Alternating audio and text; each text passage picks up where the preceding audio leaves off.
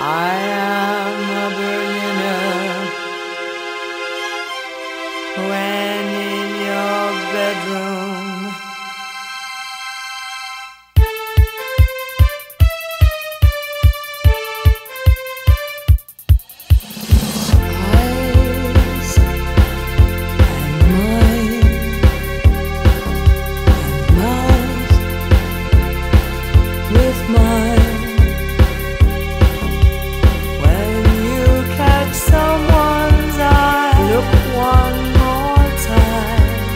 speak with.